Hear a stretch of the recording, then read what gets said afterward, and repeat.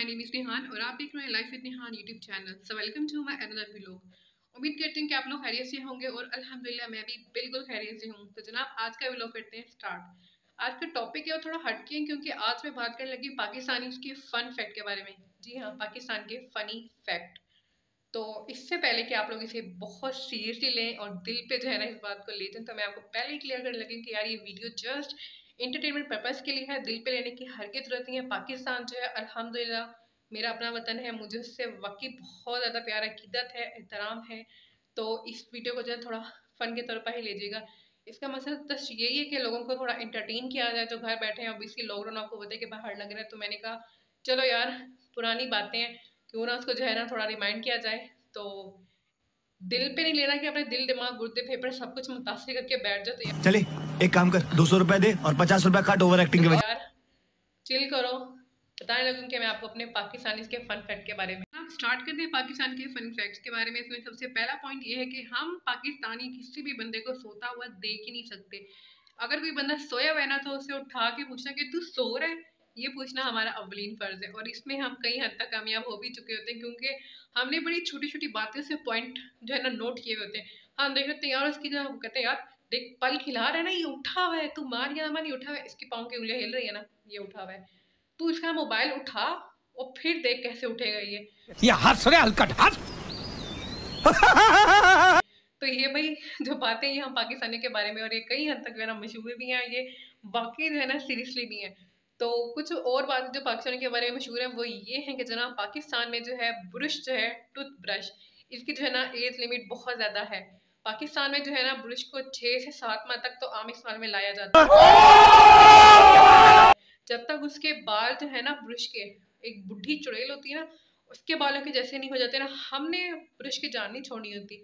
और यही नहीं कि हमने उसको जो है ना, जब उसके बाल वैसे हो जाते हैं, हम उसको छोड़ देते हैं। जी नहीं, हम उसको बाद में जो है ना, अपने बाल कलर करने के लिए इस्तेमाल करते हैं। जी हाँ। उसके बाद फिर भी हम उसकी जान नहीं छोड़ते, क्योंकि हमें पता है, यार, ऐसे कैसे चीज़ों को इतनी जल्दी छोड़ दें कि जबकि हमें पता है कि चीज़ें अभी बहुत टाइम तक चल रही हैं। और फिर हम उसे जो है, शलवार में जाबर डालने के लिए यूज़ करते हैं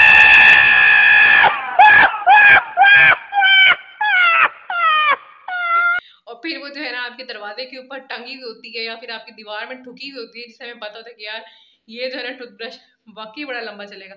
इतनी लंबी उम्र तो किसी की होती भी नहीं होगी जितनी लंबी हमारे पाकिस्तान में टूथब्रश की होती है। तो जनाब, पाकिस्तानी के बारे में जो है एक बात ये भी मशहूर है कि अगर दरवाज़ा आप बजाते हैं और अंदर से जवाब आता है कौन, और अगर आपने जवाब में कह दिया कि जनाब मैं तो जनाब दरवाज़ा खोल दिया जाता है। और ये नहीं पूछते कि भाई मैं क्या मतलब बकरी ले दरवाज़ा खोल देते हैं, आप खड़े खड़े अपना नाम बताते रहेंगे, ना दरवाज़ा ही नहीं खोलेगा। क्योंकि अगला बंदा सोचे पड़ता है कि है, ये भी कोई मेरा शिदार है जो मुझे अपना नाम बता रहा है। तो यार बस आपने आइंदा जब भी कोई पूछना कि कौन तो आपने कहना है मैं और आपका दरवाज़ा तो है ना, दो सेकंड से पहले ही खुल जाएगा। और अगर पाकिस्तानी को कहा जाए ना कि तूने फलाने बंदे को मैसेज करना है यार वो कभी भी मैसेज नहीं करेगा, कभी भी नहीं करेगा। क्योंकि उसके पास एक सॉलिड रीज़न होती है कि जनाब, उसने अगर मुझे मैसेज नहीं किया तो मैं पहले क्यों करूँ? रस्सी जल गई, पर बल नहीं गया। लेकिन यार, आपको पता है, वो अपनी अना को मार देता है। कब? जब उसे मैसेज वसूल होता है कि, जनाब, अगर आपने मैसेज दस लोगों को ना सेंड किया तो आपके ऊपर आएगा अजाब। तो भाई इस अजाब से डर के मारे जो है ना, वो उस बंदे को भी मैसेज कर देता है, जिसको वो कभी गलती से भी मैसेज नहीं करता।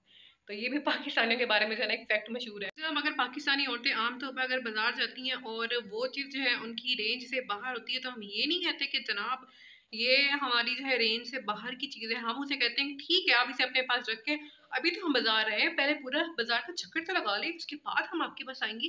कैसी बातें करते हो यार? कुछ भी। जनाब, हम पाकिस्तानी हैं, हमें हर बात में चाहिए होती है पार्टी। जी हाँ।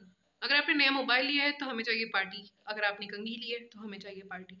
अगर आपने नई टी शर्ट ली है तो हमें चाहिए पार्टी। यार अगर आपने अपनी स्किन की सर्जरी भी करवाई है, अपना चेहरा बदलवाया है, किसी और का लगवाया है तो हमें फिर भी चाहिए पार्टी, क्योंकि हमें इससे कोई फ़र्क नहीं पड़ता कि आप कैसे लग रहे हैं, क्योंकि हमें जिस चीज़ से मतलब है, उसका नाम है पार्टी। कोई तरीका है भीख मांगने का? तो यानी कि आपकी ज़िंदगी जो यार, पार्टी के गेट जो है ना, घूमी हुई आप पैदा होने से लेकर कब्र में जाने तक जाना हमें चाहिए होती पार्टी। और कुछ ऐसे दोस्त होते हैं यार, जो कब्र में जाने तक भी पीछे नहीं छोड़ते, क्योंकि उन्हें क्या चाहिए होती है? पार्टी। तो जनाब, हम पाकिस्तानी हैं, हमारे पास हर बीमारी का एक ही इलाज है, वो है पैराडोल। हम पाकिस्तान ने हर चीज़ को जो है ना, खोपरा कैंडी समझा हुआ है। अगर कोई मोहल्ले में लड़ाई होती है तो जनाब, सबसे पहले जो है ना, बाहर निकल के लड़ाई को देखना, वो है हमारा काम। पाकिस्तान में जो है ना अमूमन वेटर्स को जो है ना वेटर कहे के नहीं पुकार जाता वहाँ पे से कहते हैं चाचू मामू उस्ताद मतलब कुछ भी।